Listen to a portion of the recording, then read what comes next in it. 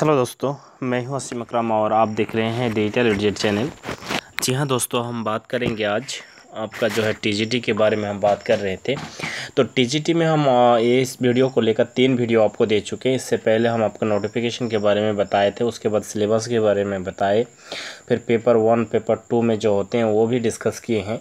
आज भी हम जो, जिस स्टूडेंट का मैथमेटिक्स है और जिसके साथ फिज़िक्स कंबाइंड है, या तो फिज़िक्स स्टूडेंट का साथ जो मैथमेटिक्स कंबाइंड है, उन दोनों के लिए आज हम सिलेबस का डिस्कस करेंगे।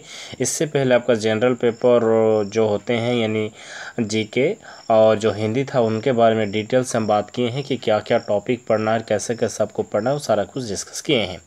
आज हम आपको फुल्ली जो है एकदम फुलफिल मैथमेटिक्स और फिज़िक्स का जो है सिलेबस डिस्कस करेंगे, जो हाईलाइट हाईलाइट सिलेबस है।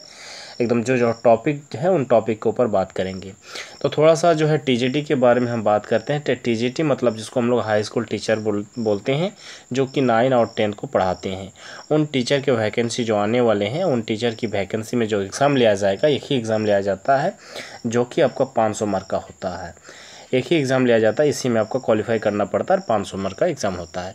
तो पाँच सौ में दो सौ, दो पेपर होते हैं, एक होता है आपका पेपर वन एक होता है पेपर टू पेपर वन जो होते हैं, वो दो सौ मार्क का होता है, इसमें आपको तैंतीस परसेंट यानी थर्टी थ्री परसेंट आपको मार्क्स लाना है। यानी दो सौ में सिक्सटी सिक्स मार्क्स लाना अनिवार्य है। अगर 66 मार्क्स नहीं ले पाएँगे 200 में तो आपको क्वालिफाई नहीं माना जाएगा। पेपर टू जो है आपका, वो आपके विषय जो होंगे, यानी जो ग्रेजुएशन विषय होगा, आपका ऑनर्स सब्जेक्ट होंगे, उन सब्जेक्ट के ऊपर आपको 300 मार्क का एग्ज़ाम लिया जाएगा, जिसमें आपको 50 परसेंट यानी दो सौ तीन सौ का अगर फिफ्टी परसेंट करेंगे तो डेढ़ सौ अंक आपको लाना ज़रूरी है। अगर डेढ़ सौ अंक नहीं ला पाएँगे तो आपको क्वालिफाई नहीं माना जाएगा अगर जनरल कैटेगरी में आती है तो। अगर एस टी है तो उसके लिए फिर बात अलग है एस टी के लिए बात अलग है। तो चलिए हम लोग यहाँ पे देख लेते हैं। पहला पेपर जो है पहला पेपर में दो दो भा, भागों में विभाग किया जाता है। जैसे आपको एक होता है जनरल अवेयरनेस यानी जन, जीके भी बोल सकते हैं, जिनके बारे में हम आपको पहले वीडियो दे चुके हैं। अगर नहीं देखे हैं तो मेरे वीडियो को डिस्क्रिप्शन में जाइए, उस वीडियो को आप देख सकते हैं। इस वीडियो के बाद उसको देख लीजिएगा।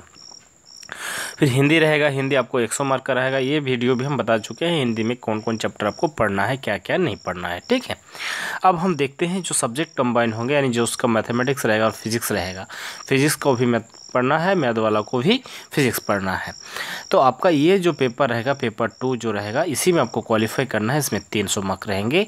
मैथ्स में आपको जो है, डेढ़ सौ मार्क रहेगा और फिजिक्स का डेढ़ सौ मार्क। मैथ का डेढ़ सौ मार्क, यानी प्रत्येक क्वेश्चन जो होंगे, दो नंबर का होगा तो पचहत्तर क्वेश्चन होंगे आपको दो नंबर करके। फिजिक्स में उसी तरह डेढ़ सौ अंक लाना है आपको, पचहत्तर क्वेश्चन का जो है, दो मार्क करके। और यहाँ पे जो आप क्वेश्चन ये किए थे तो इसमें आपका दो सौ क्वेश्चन था, दो सौ मार्क था, यानी एक एक क्वेश्चन का एक एक मार्क था। ठीक है? तो ये आपका यहाँ पे डिफरेंस था। तो फिजिक्स का हम यहाँ पे देख लेते हैं। फिजिक्स का पहले हम अभी उसका मेन मेन टॉपिक देख लेते हैं जो फिजिक्स में हमको क्या क्या पढ़ना है। फिजिक्स में हमको पढ़ना है जनरल फिजिक्स इसके बारे में भी हम वीडियो बनाएँगे कि जनरल फिजिक्स में क्या क्या चैप्टर आएँगे क्या क्या आपको पढ़ना है। उसके बाद आपको जो पढ़ना है रिलेटिविटी पढ़ना है, उसके बाद हेट एंड थार्मोडाइनमिक्स ये भी आपको पढ़ना होगा। ठीक है? तो इनके अंदर फिर क्या क्या चीज़ पढ़ना होगा, कितना डिपली पढ़ना होगा और ख़ास करके हम आपको बता दें कि ये जो है ग्रेजुएशन लेवल तक आपको पढ़ना चाहिए। ग्रेजुएशन इंटरमीडिएट तक आप पढ़ के उसका अगर सिलेबस पढ़ेंगे तो आप जो है आगे नहीं ये कर पाएँगे। हो सकता है आपको बहुत हद तक सहूलियत होगा, बहुत हद तक क्वेश्चन आप जो है सॉल्व कर पाएँगे, लेकिन आपको डीपली पढ़ना है। क्योंकि फिज़िक्स और मैथ का जो है सिलेबस थोड़ा सा हमको लग रहा है कि भारी पड़ता है, क्योंकि ग्रेजुएशन लेवल में जब तक आप नहीं पढ़ेंगे तो अब तक जो है आप क्वालिफाई नहीं कर पाएँगे। तो ये सिर्फ़ चैप्टर का नाम ही यहाँ पे दे रहे हैं। हम फिर आगे डिटेल से बात करेंगे कि कौन कौन चैप्टर यानी उसके अंदर जो सब चैप्टर होते हैं, उनको किन किन को आपको टच करना है। और हमेशा याद रखिए कि इसको डीपली याद डीपली इसको अध्ययन करें और डीपली जो है सिलेबस को कवर करें। ठीक है? हालाँकि हम आपको जो है फिजिक्स के बारे में और मैथ के बारे में भी हम वीडियो कंटिन्यू लेते आएँगे। तो चलिए यहाँ पे देख लेते हैं, एक ऑप्टिक्स भी आपको पढ़ना होगा, उसके बाद करेंट इलेक्ट्रिसिटी भी पढ़ना पड़ेगा। उसके बाद आपको इलेक्ट्रोमैग्नेटिव मैग्नेटिज़म पढ़ना पड़ेगा, जिसको हम लोग विद्युत चुंबकीय बोलते हैं। उसके बाद एटॉमिक एंड मॉलिकुलर फिजिक्स भी आपको पढ़ना होगा, उसके बाद इलेक्ट्रॉन्स भी पढ़ना पड़ेगा। यानी लगभग मोटा मोटी अगर देखा जाए तो आठ आपका मेन टॉपिक होते हैं, इसके अंदर फिर कुछ सब टॉपिक होंगे, सभी को आपको पढ़ना होगा। हालाँकि अगर देखा जाए, अगर आप लगातार इसके ऊपर जुनून ला अगर पढ़ाई करेंगे, हालाँकि आप तो एक बार पढ़ चुके हैं जब आप फिज़िक्स पढ़ रहे थे, जब आप ऑनर्स कर रहे थे तो इंटर में भी पढ़े हैं, ग्रेजुएशन में, फ़र्स्ट ईयर में, सेकेंड ईयर में भी पढ़े होंगे। तो फिर भी आपको एक बार डीपली जो है इसको तैयार कर, तैयारी करना होगा, अध्ययन करना होगा तो जो जो है आगे की आपको लिए बहुत हद तक इसमें कामयाबी मिलेगा। तो चलिए अब हम लोग मैथमेटिक्स कब देखेंगे, मैथमेटिक्स में हमको क्या क्या पढ़ना पड़ेगा। यहाँ पे हम देख लेते हैं मैथमेटिक्स जो है पेपर टू तो पेपर टू में पहला जो अध्याय होता है एल्जबरा है। एल्जबरा में हम यहाँ पे सब टॉपिक दो लिख दिए हैं सेट थ्योरी और थ्योरी ऑफ़ इक्वेशन दो लिख दिए हैं। अब सेट थ्योरी में हमको क्या क्या पढ़ना होगा, हम इसको डिटेल्स यहाँ पे खंडन किए हैं कि जैसे आपका जो है जनरलाइजेशन पढ़ना पड़ेगा डी मॉर्गन्स लॉ पढ़ना पड़ेगा कंटेबल एंड अनकंटेबल सेट पढ़ना पड़ेगा सेट मैपिंग पढ़ना पड़ेगा, इन सब चीज़ों के बारे में आपको पढ़ना पड़ेगा।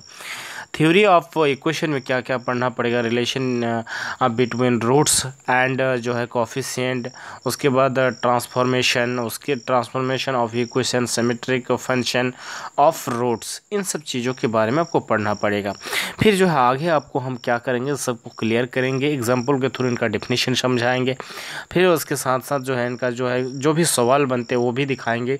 और 2017 जो हाई स्कूल एग्जामिनेशन हुआ था हाई स्कूल एग्ज़ाम लिया गया था एंट्रेंस एग्ज़ाम एग्ज़ाम या जो भी एग्ज़ाम हुआ था, उनका भी क्वेश्चन आपको दिखाएँगे। और अदर स्टेट का स्टेट का जो भी अभी हाई स्कूल एग्ज़ाम हो रहा है या हुए हैं, उनके भी आपको तुलना करके हम दिखाएँगे, जिससे कि हो आपका एक बेहतर तरीक़ा से आप तैयारी कर पाएँ। अब हम यहाँ पे देखते हैं कि दूसरा जो टॉपिक है, ये आपका पहला टॉपिक था। पहला टॉपिक में दो टॉपिक था अलजेब्रा के अंदर सेट थ्योरी और थ्योरी ऑफ़ इक्वेशन अब हम यहाँ पे देखते हैं डिफरेंशियल कैलकुलस जिसको हम लोग बोलते हैं, इसमें हमको क्या क्या पढ़ना पड़ेगा। फ़ंक्शन पढ़ना पड़ेगा कंटिन्यूटी पढ़ना पड़ेगा कंटिन्यूटी एंड डिफ्रेंसिबिलिटी जिसको बोलते हैं।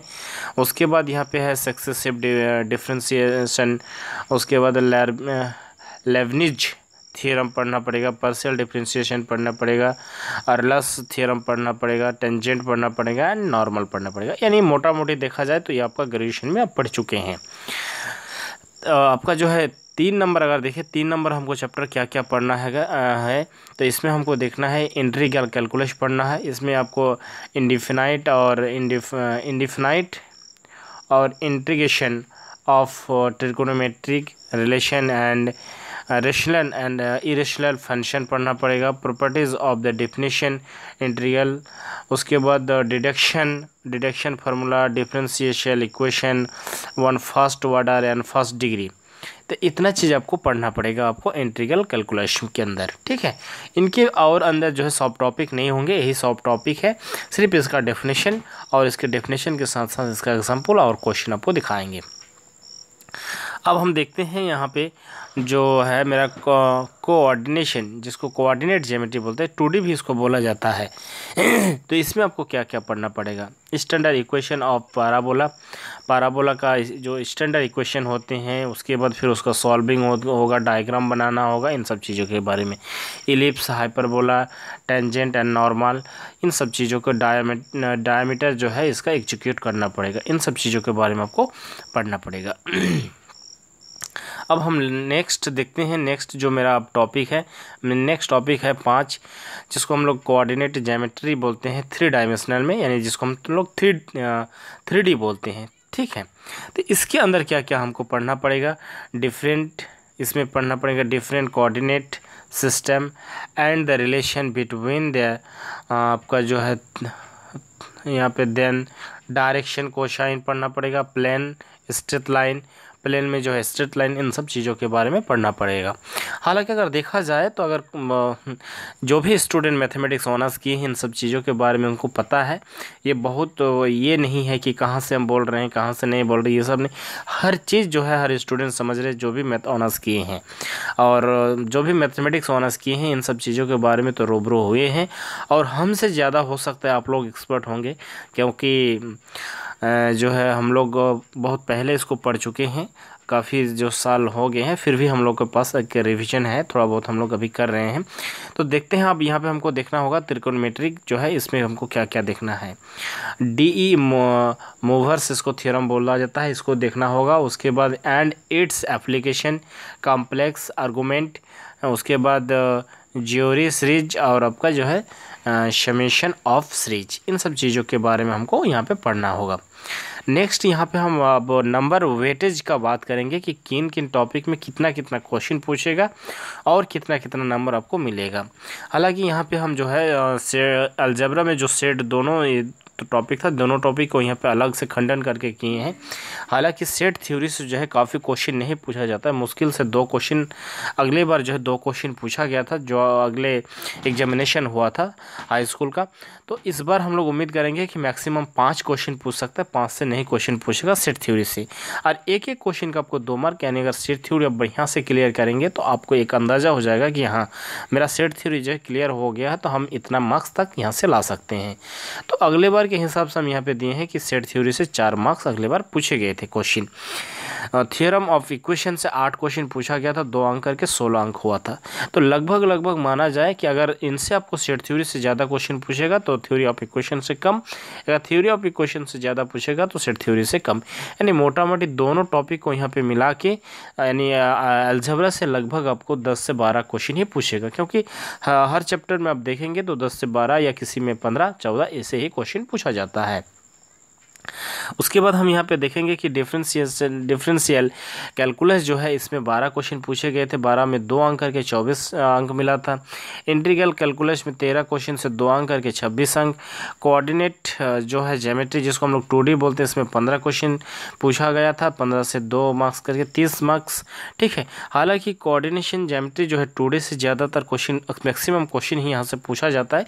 लेकिन ओवरऑल आपको ध्यान रखना होगा कि मैक्सिमम जो सभी क्वेश्चन सभी चैप्टर से दस से बारह क्वेश्चन ही पूछेंगे। अगर किसी में दो क्वेश्चन ज़्यादा पूछ दिया तो किसी में दो क्वेश्चन कम पूछना पड़ेगा, ठीक है? उसके बाद कोऑर्डिनेट जेमेट्री जिसको हम लोग थ्री बोलते हैं थ्री में आपको दस क्वेश्चन पूछा था, दो अंक करके। और जेमेट्री त्रिगोनमेट्री जो है त्रिकोणमेट्री से पंद्रह क्वेश्चन दो मार्क करके, यानी टोटल तीस अंक, यानी डेढ़ सौ अंक आपको यहाँ पे, अब इसको अगर जोड़ेंगे तो आपको डेढ़ सौ अंक मिल जाएगा। यानी यहाँ पे जो भी क्वेश्चन पूछा था, इन क्वेश्चन को अगर आप काउंटिंग करेंगे तो पचहत्तर ही क्वेश्चन पूछा गया था, पचहत्तर क्वेश्चन में आपको डेढ़ सौ अंक मिला था। हालाँकि इसके बाद जो हम वीडियो लाएँगे, अब सेट थ्योरी के क्या क्या पढ़ना पड़ेगा कौन सा है, उसका डेफिनेशन पढ़ना पड़ेगा, किस तरह का क्वेश्चन पूछेंगे आपको एग्ज़ाम में, उन सारा चीज़ों को हम डिस्कस करेंगे। और कहीं भी अगर आपको दिक्कत हो रहा है, कहीं भी अगर इन्फॉर्मेशन आपको जानना है कि कैसे क्या करना है, तैयारी बेसिस को लेकर तो उनके लिए आप मेरे वीडियो में कॉमेंट कीजिए। ज़रूर आपके लिए हम उस तरह का जो है वीडियो लाएँगे। और इससे पहले जो भी हम वीडियो दिए हैं, इन सब वीडियो को भी आप देखिए। तो इस वीडियो में ही तक, फिर मिलेंगे हम नेक्स्ट वीडियो में। थैंक यू धन्यवाद।